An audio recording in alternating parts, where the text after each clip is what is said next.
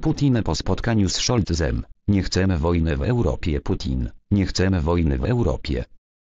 Kanclerz Niemiec Olaf Scholz spotkał się we wtorek w Moskwie z prezydentem Rosji Władimirem Putinem. Niestety, dużą część naszego dzisiejszego spotkania poświęcimy kwestiom związanym z sytuacją w Europie, bezpieczeństwu i trwającym rozmowom na ten temat, między innymi w związku z Ukrainą, powiedział na początku spotkania gospodarz Kremla. Po krótkiej poniedziałkowej wizycie w Kijowie kanclerz Niemiec Olaf Scholz we wtorek spotkał z Władimirem Putinem w Moskwie. Rozmowa, która rozpoczęła się około południa, to pierwsze osobiste spotkanie przywódców.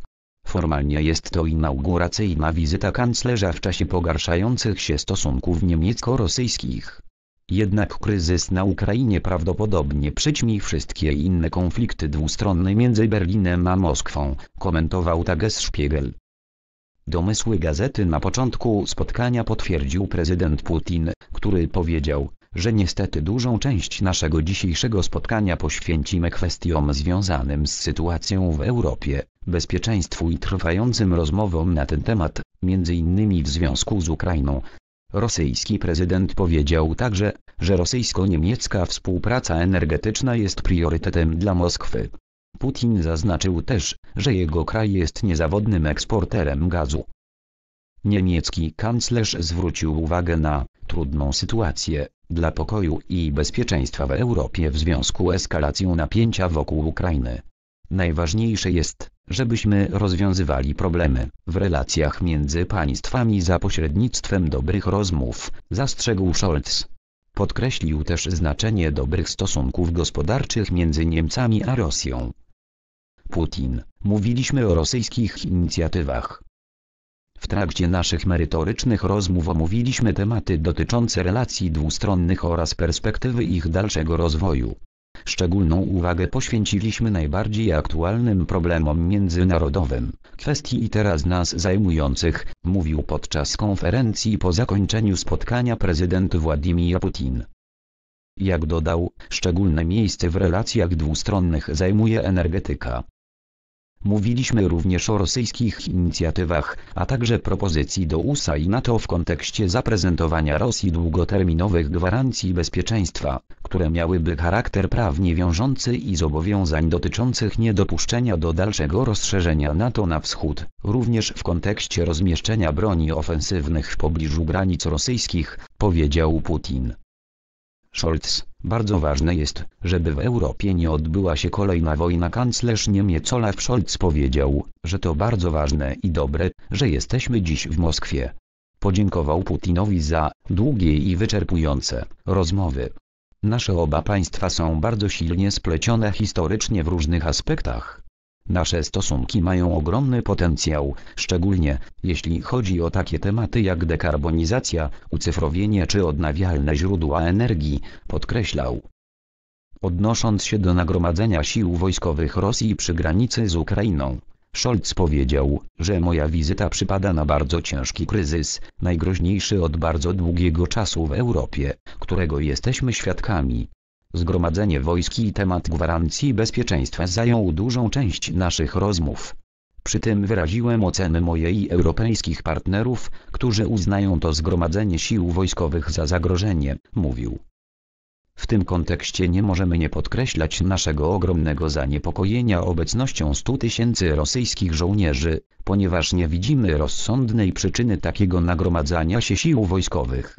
Dlatego też w obecnej napiętej sytuacji bardzo ważne jest, żeby w Europie nie odbyła się kolejna wojna, dodał.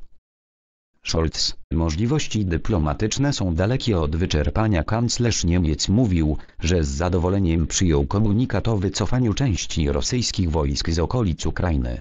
Możliwości dyplomatyczne są dalekie od wyczerpania, powiedział na konferencji prasowej. To, że teraz słyszymy, że niektóre oddziały wycofują się, jest dobrym znakiem. Mamy nadzieję, że w ślad za nimi pójdą kolejne, dodał. Jak dodał, powinno być możliwe znalezienie rozwiązania.